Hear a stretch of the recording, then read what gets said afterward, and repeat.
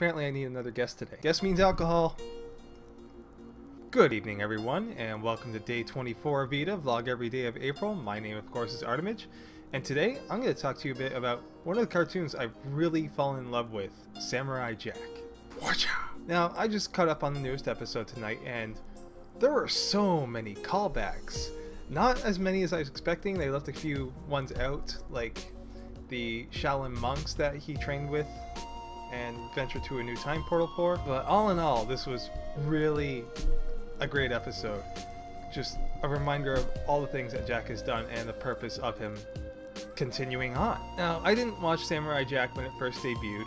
Uh, at the time, I was more into one of Tartakovsky's other pieces of work, Dexter's Lab. But eventually, uh, I don't remember what it was at first that made me shy away from Samurai Jack. But once I gave it a decent look in about 2006 or 7, I watched through the entire series in a matter of about a week, and I was really blown away by their styling to it. I mean, the aesthetics were simple, but conveyed everything well.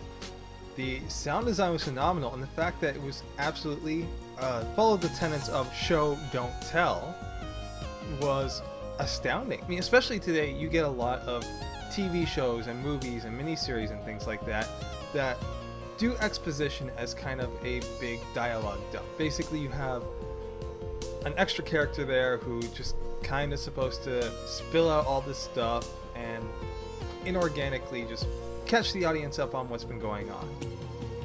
Whereas we have Samurai Jack here, as I said, very much a show of show, don't tell. So it's very dialogue light.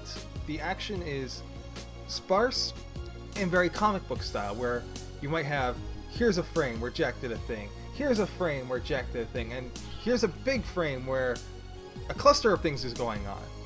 And it's dynamic in a way that is very organic and very enthralling.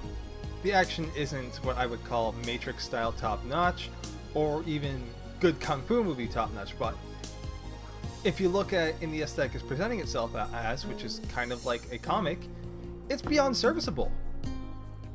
It's simple frames that give you a direct idea of what's going on. It's impactful, you can feel the strikes, and when it combines with the sound design, even the simple things, like I remember in the old series, there's this one scene where Jack follows this girl to a house that is haunted by ghosts or spirits or something. Regardless, they're they're non-corporeal beings. The simple things such as Jack walking up the stairs accompanied by this eerie creaking as he walks up, the blowing of the wind. It's it's all so perfect and sets the stage. While not directly show is giving you that insight into what type of environment we're in and Jack physically exploring it. Now I don't know too many people personally who have not experienced the show yet. But if you happen to be amongst them, I definitely say check it out. It's absolutely an experience that I have yet to find in any other sort of show.